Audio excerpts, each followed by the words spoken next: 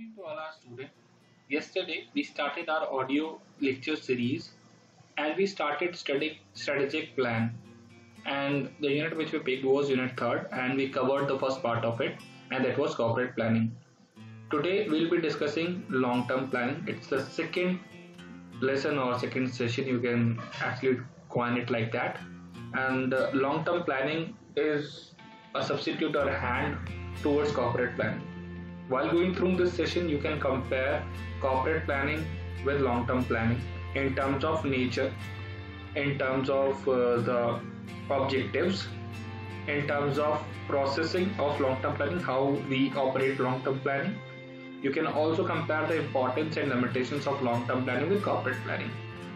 With this thought, let us start what is long-term planning. Long-term planning is about it's a shorter time frame there is strategic planning and it looks more specific at such variable like as market conditions, financial objectives and the resource necessary to accomplish the mission. So now you know why I'm telling that it's a substitute of corporate planning because long-term plan similarly like corporate planning is worked on by top management and it encompasses their philosophy as well as the manner in which all elements should be processed up so long term plans like that. And long term planning is for 5 to 10 years. That's a very shorter time period if you consider a business. For a business 15 to 20 years is a moderate time to grow and evolve.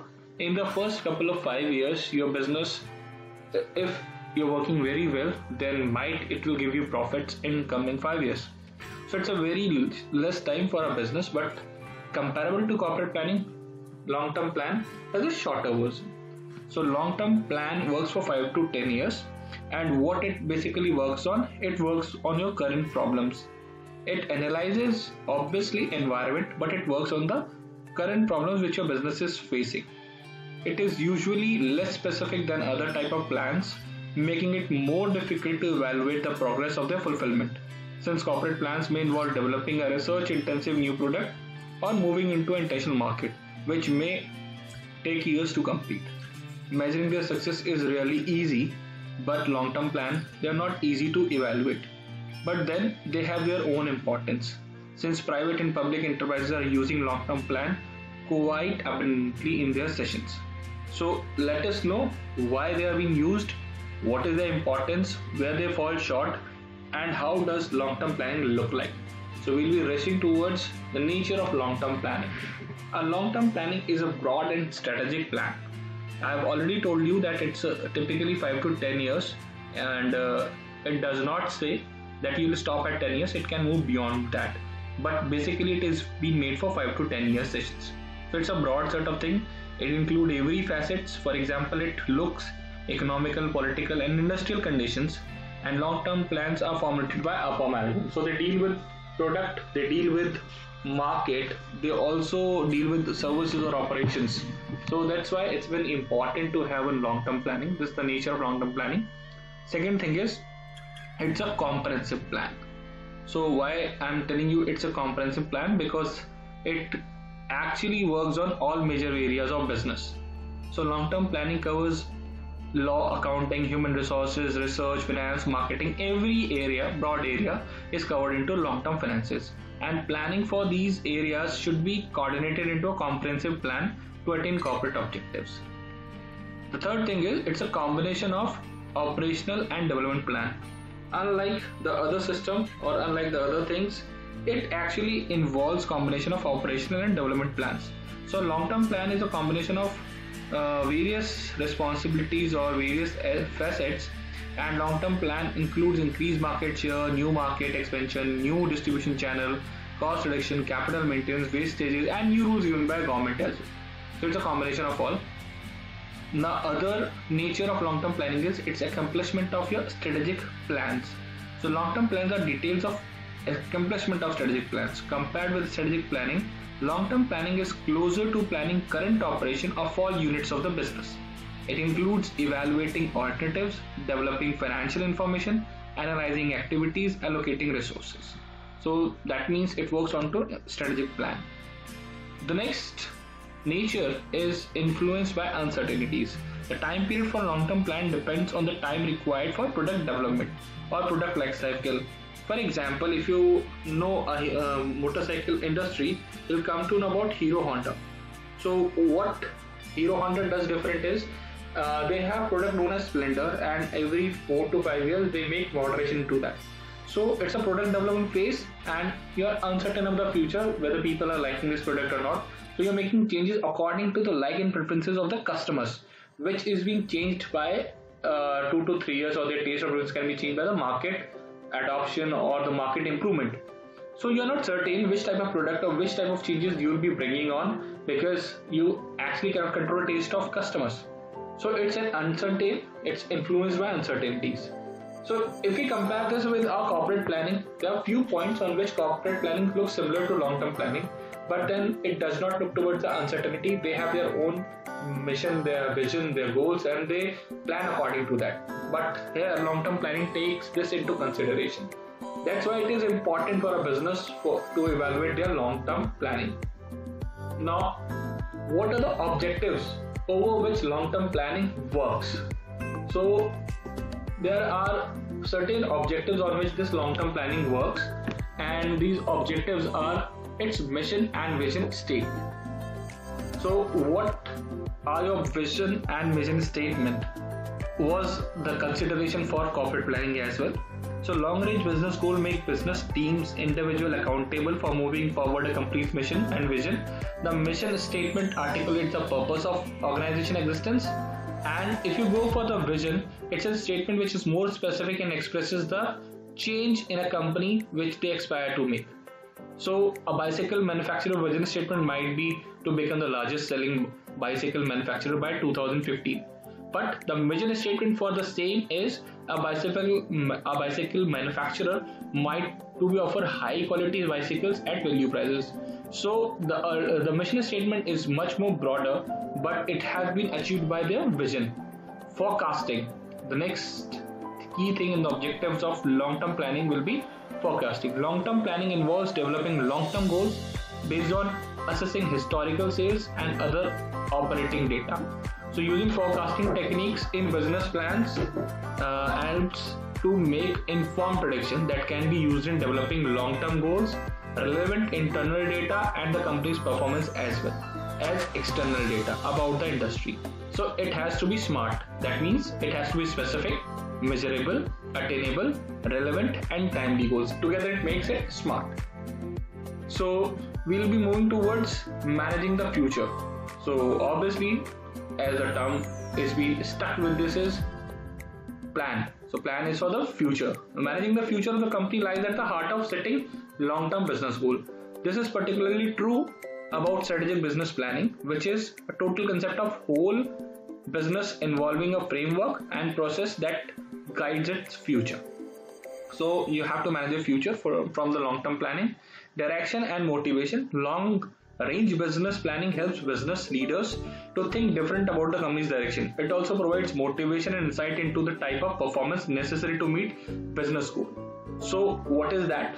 A long-term goal might be to increase revenue for a particular product by 20% over a 5-year period, but the long-term goal gives management a measurable direction because now they can measure how much they are increasing because they are aiming towards 20% for 5-year period so they have to start from somewhere so that it will give them direction. And if they achieve it what is the benefit of that? Where your company will go will be the motivation of that company.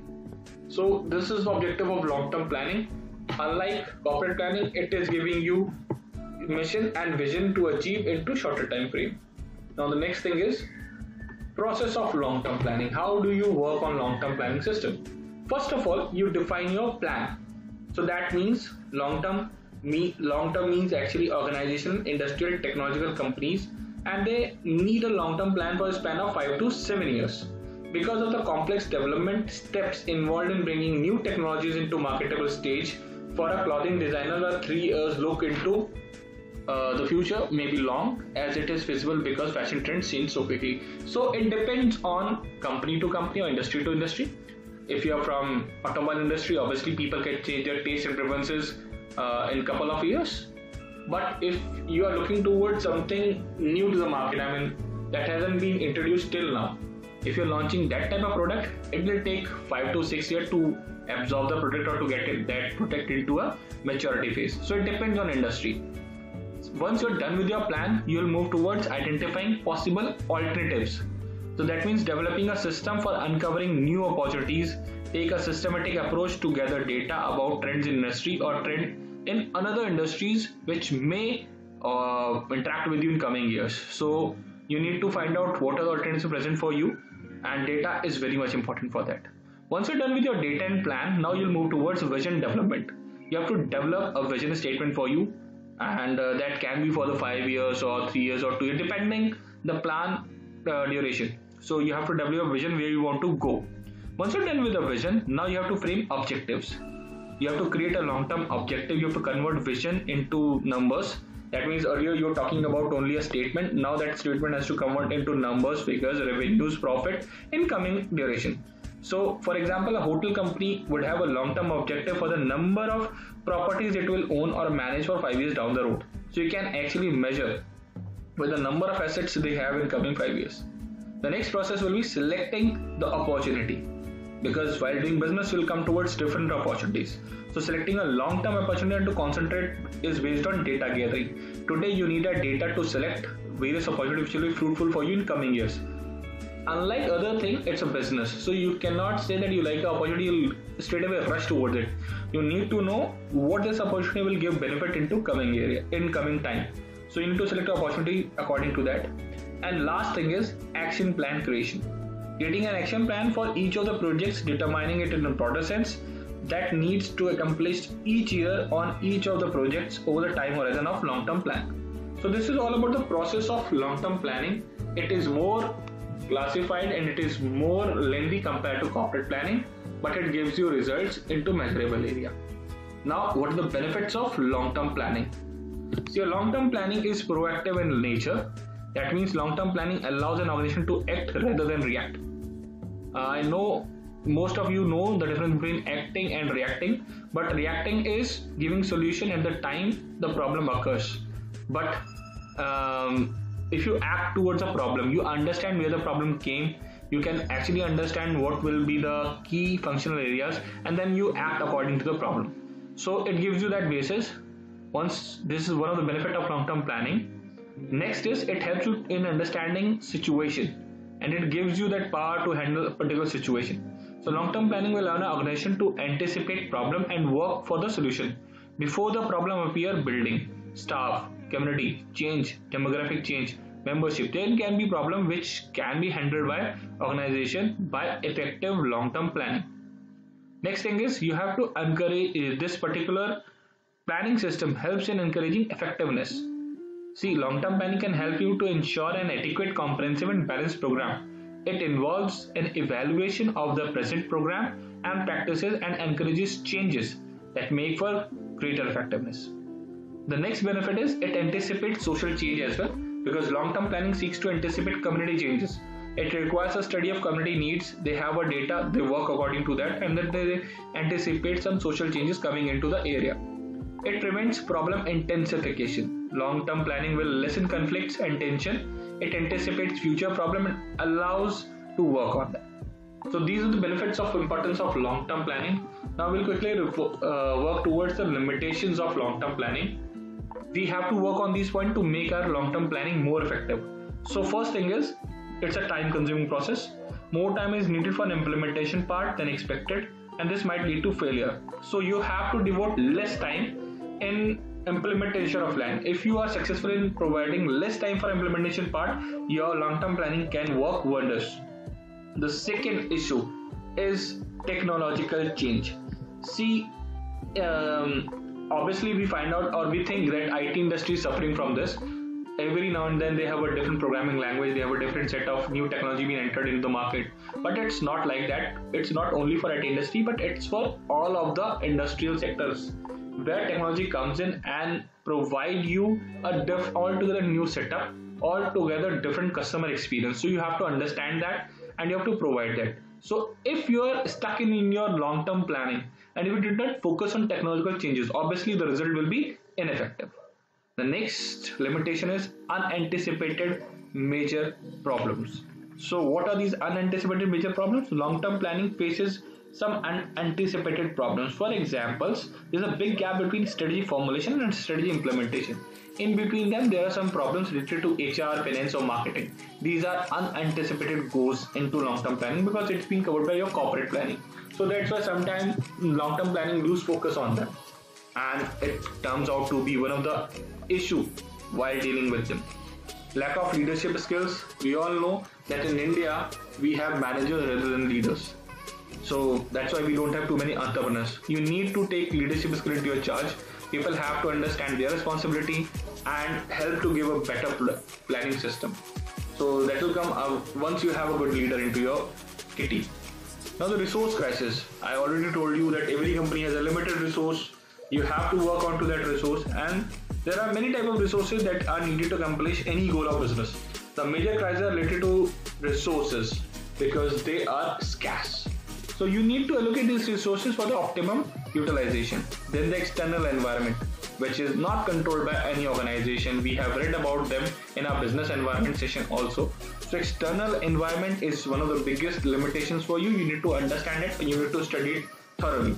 And in the end, it's an ill-defined task and it's a work from implementation area and the activity area. So the managers have to blame for that they need to define tasks according to the sessions of working program of the company. You have to develop a proper, well-defined task or profile for the working people. So these are the limitations of long-term planning. If a company works on them, obviously it can bring wonders. I hope that you'll be gone through this session and you can compare corporate planning with long-term planning. Meanwhile, what you can do is if you have any query or question, you can post in the comment box section. Tomorrow we'll be working on a strategic planning. That's the third and final chapter of the third unit. Thank you for covering whole session. I hope that you would have learned various things.